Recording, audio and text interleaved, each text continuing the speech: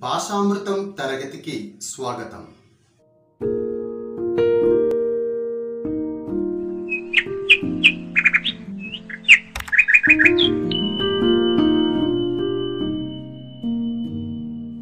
ఈరోజు వీడియోలో పదవ తరగతిలోని ధన్యుడు పాఠం గురించి తెలుసుకుందాం.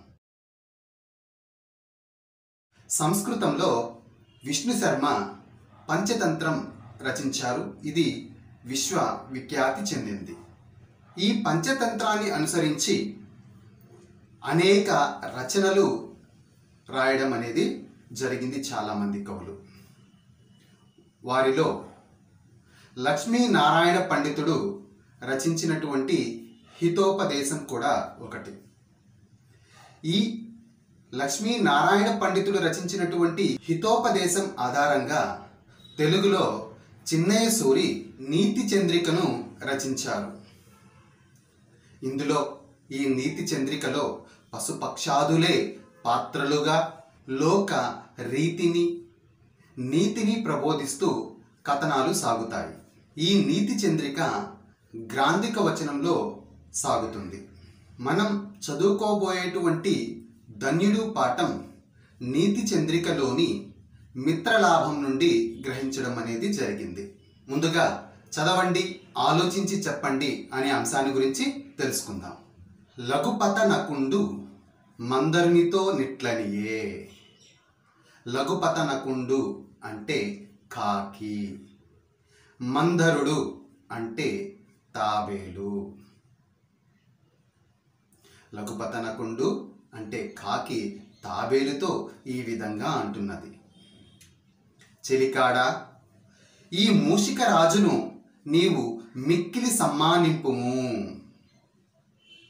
చెలికాడ అంటే ఓ స్నేహితుడా?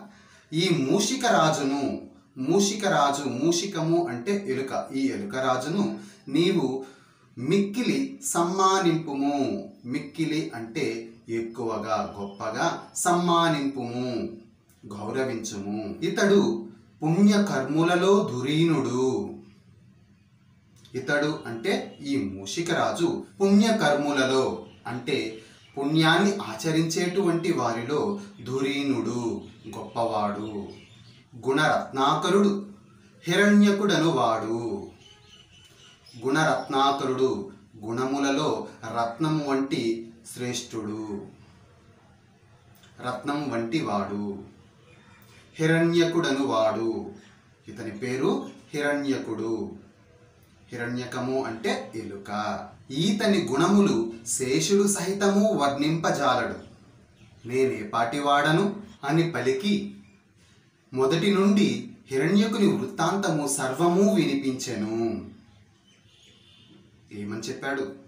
ఈ హిరణ్యకుని యొక్క గుణగణాలను వర్ణించడానికి ఆదిశేషుడికి కూడా సాధ్యం కాదు. అటువంటిది నేను ఎంత మాత్రము సరిపోను?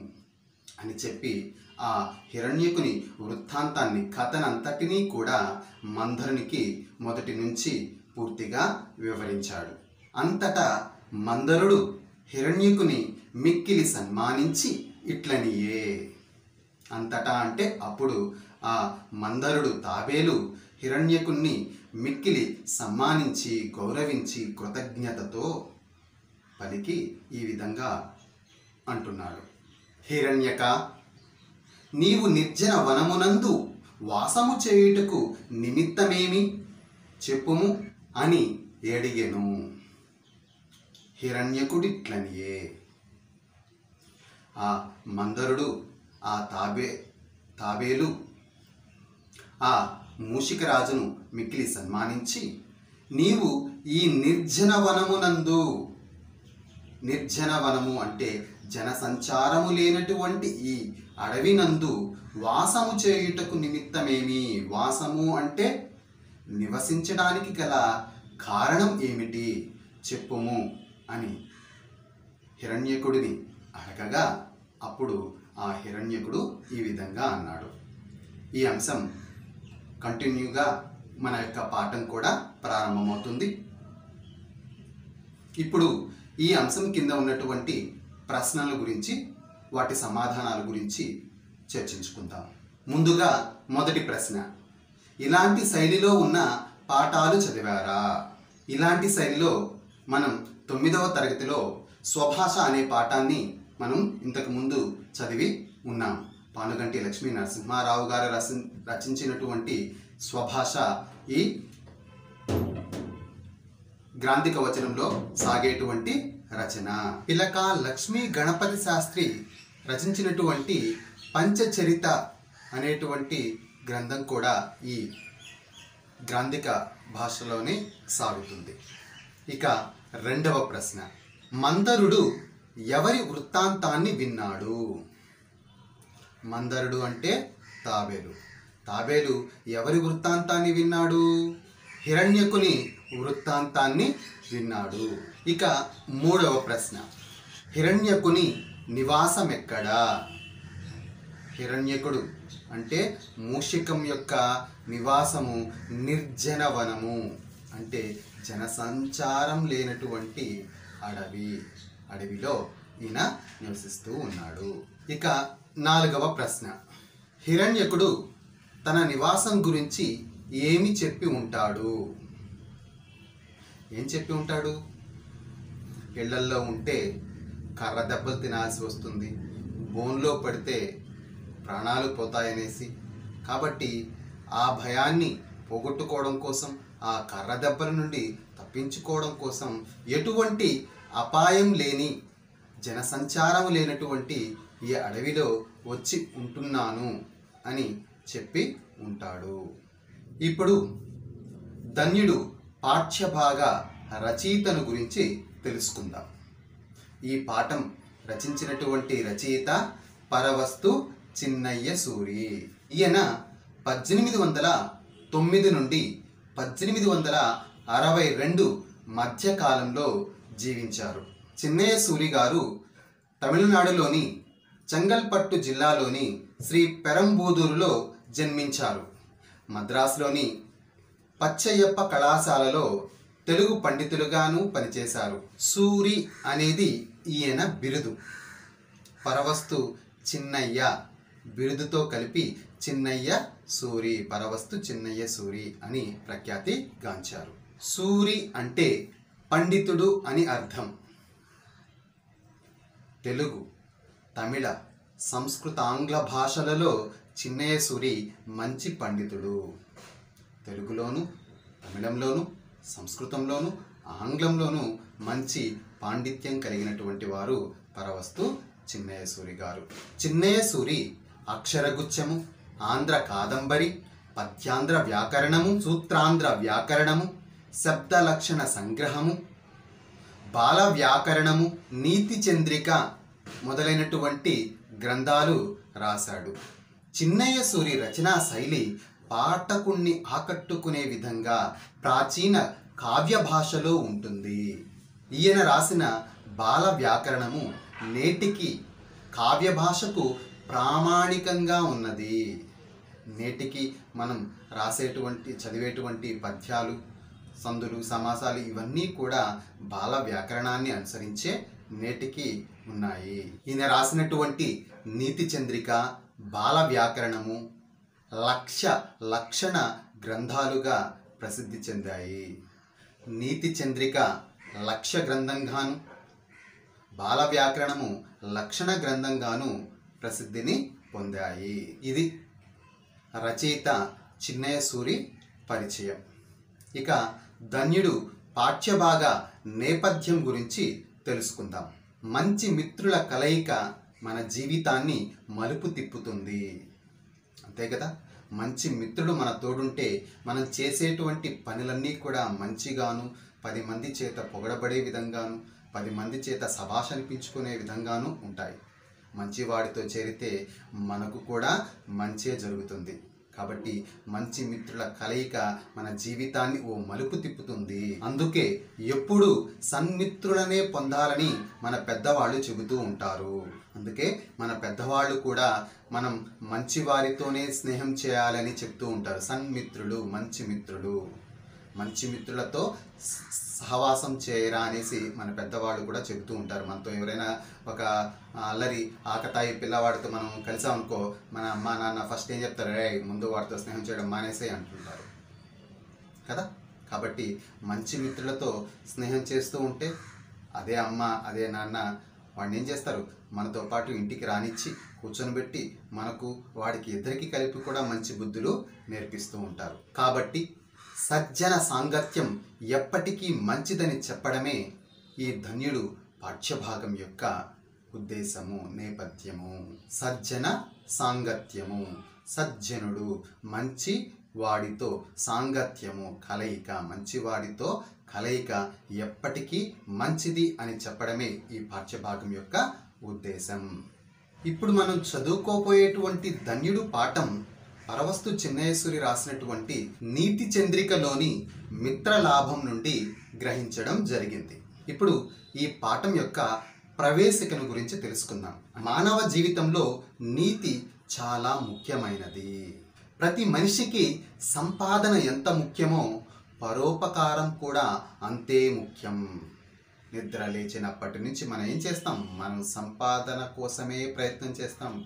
ఎక్కడ ఆదాయం వస్తుందో ఆ పనే ఎక్కువగా చేస్తూ ఉంటాం. ఎక్కువగా సంపాదించి దాచిపెట్టుకుంటూ ఉంటాం. కాదు ఆ సంపాదించిన ధనంలో కాస్త నువ్వు ఎత్తి పెట్టుకొని కాస్త పరోపకారానికి ఉపయోగించాలి. పరులకు మేలు చేసేదానికి పరులకు ఉపకారం కలిగించే విషయానికి దాన్ని ఖర్చు చేయడం కూడా అంతే ముఖ్యం. లేకపోతే ఆ సంపాదనకు విలువ ఉండదు. లోభం అనేది ఉండకూడదు. లోభం అంటే పిసనారితనం అనేది మనలో ఉంచుకోరాదు. లోభిత్వం అనేది మనం అలవాటు చేసుకోకూడదు. లోభత్వం వల్ల తనకు కానీ ఇతరులకు కానీ ఏ ప్రయోజనమూ ఉండదు. అంతే కదా? లోభిత్వం అనేది ఉంటే తాను సంపాదించుకున్న ఆ సంపదని ఖర్చు పెట్టుకోవడానికి ఇష్టపడడు దాచిపెట్టుకోవడానికే ఇష్టపడతాడు. ఆ దాచిపెట్టిన అటువంటి ధనం వల్ల తను సుఖపడడు పరులకు సుఖాన్ని కలిగించడు.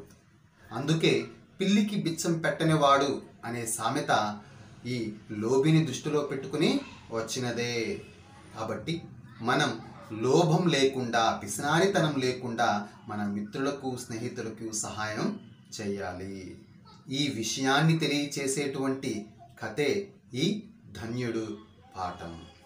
ఈ పాఠం అంతా కూడా ఉత్తమ పురుష కథనంలో సాగుతుంది. ఉత్తమ పురుషుడు అంటే ఉత్తమ పురుషం అంటే తనను తానే తన యొక్క కథను తానే తనను గురించి తానే చెప్పుకోవడం. ఉత్తమ పురుషం.